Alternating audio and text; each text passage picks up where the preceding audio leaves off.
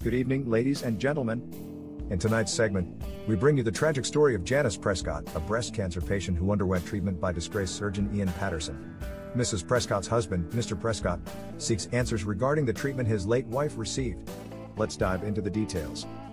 Janice Prescott, a vibrant woman diagnosed with breast cancer in 2001, sought the best possible care for her condition. Ian Paterson, known for his self proclaimed expertise, performed a full mastectomy on Mrs. Prescott.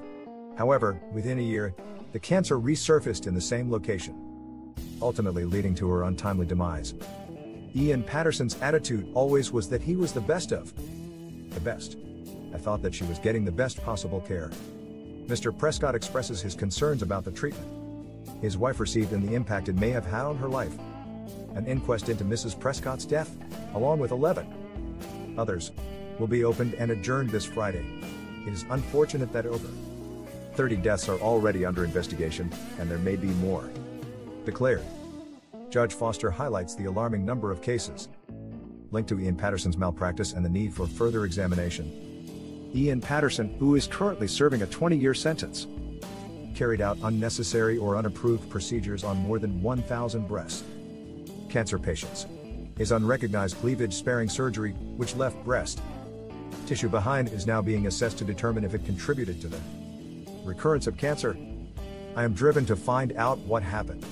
Whether the treatment that she received contributed towards her death.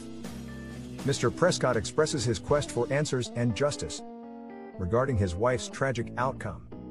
Ian Paterson worked at Spire Parkway Hospital, Spire, Little Aston Hospital, and NHS hospitals run by the Heart of England NHS Foundation Trust.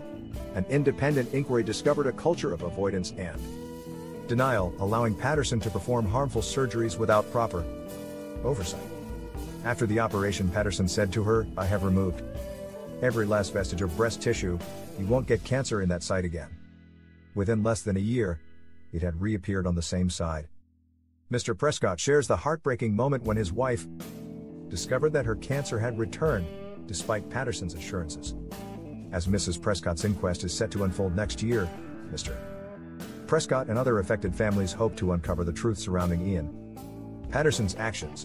Their pursuit of justice shines a light on the importance of accountability and patient safety within the healthcare system.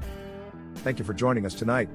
We'll continue to follow this story and provide updates as the investigations progress. Good night.